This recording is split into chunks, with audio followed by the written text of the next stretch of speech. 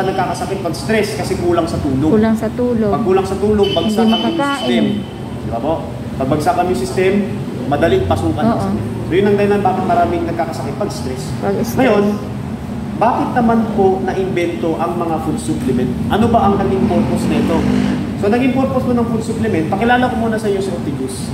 So, ano bang meron dito kay Optijuice? Ito po yung number one flagship. Ibig sabihin, top sales po namin. Okay po? Ngayon, ano bang dahilan bakit na-invento ang food supplement? Na-invento po ang food supplement para maging mapadali ang proseso sa buhay. Kasi ito po ang Optijuice, meron siyang 15 ingredients siya.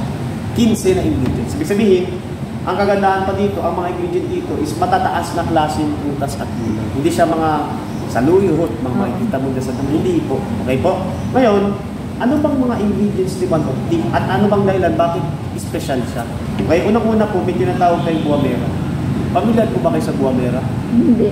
Ano yun? Hindi po kayo pamilyar. Ito pong buwamera is, ito po yung tinatawag nating red fruit na natatagpuan sa Papua New Guinea, Indonesia. Okay po? So ito pa po, sa mataas ng mundo po, po ito nakukuha. At saka, ganyan siya kalaki. Langka, para sa langka na pula, napahaba. Wow. Ayun po yung ano niya.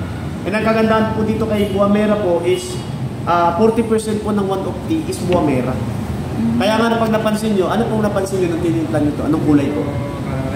Pula, di ba? Oo. Ito po yung dahilan. Kasi bakit po? Ah, Pero para siyang carrots, ano? Hindi po siya carrots. Isa siyang ano, ah, para siyang langka na pula, na ganyan kahaba, na ganyan kataba. Ah. Ang balat po kasi ang kinukuha dyan. Kasi po sa lahat